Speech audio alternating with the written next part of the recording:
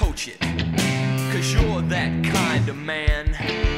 You love to feel the power, and you're a real big football fan. You never miss the highlights while you chill in your abode. You love to drink a Budweiser and eat ice cream a la mode.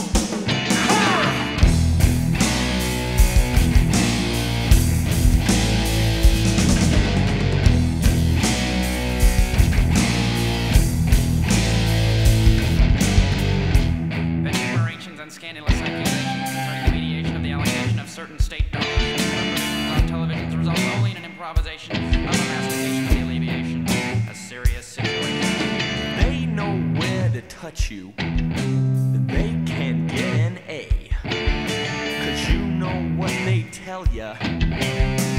No pass, no play.